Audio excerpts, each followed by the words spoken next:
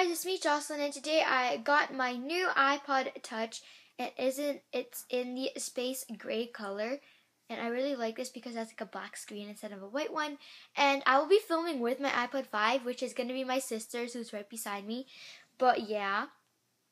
But whatever. So if you guys want to do an i what's on my iPod, I will be happy to.